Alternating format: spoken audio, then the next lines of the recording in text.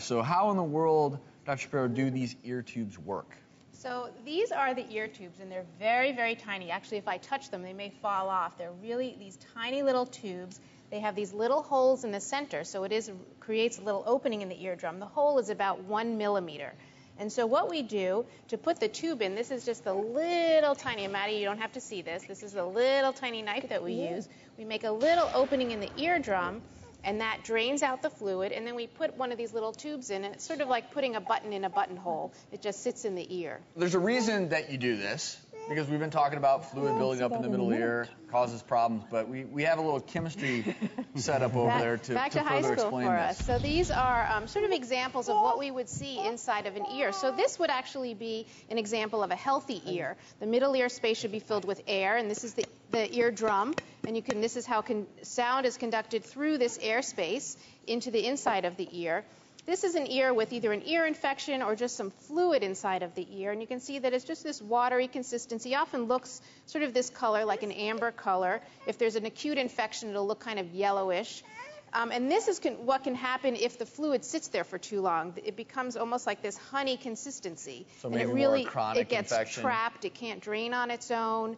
Um, the, obviously, the sound will conduct much more slowly through this space here. So what we do when we do a tube pr- procedure is we really just drain out the fluid. We pour it out until it's all um, cleared, and then we have this nice clear air space that we've created from taking out the fluid, and that's what we did for Maddie's ears.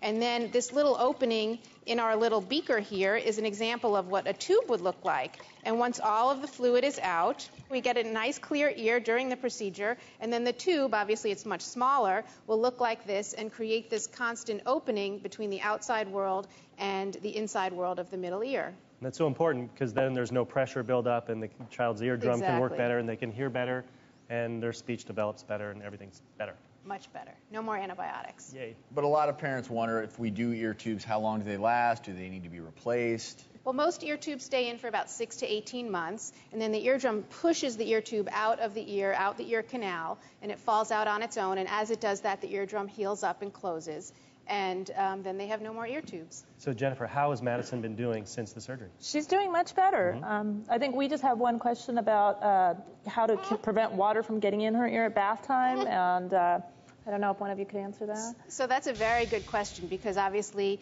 um, kids love the bath, kids love to swim. We live in Southern California. What I usually recommend is for young kids like Maddie, if you just pour water over her head or even little quick dunks, these tubes are so tiny that the amount of water that gets into her ear canal won't get through the tube and it won't be a problem. For the kids that jump into the pool and swim underwater, they do need some uh, water protection for as long as the tubes stay in. Either were either these headbands or mm-hmm. earplugs, things like that. Exactly. Thank Hey you. Madison, you Thank feeling better?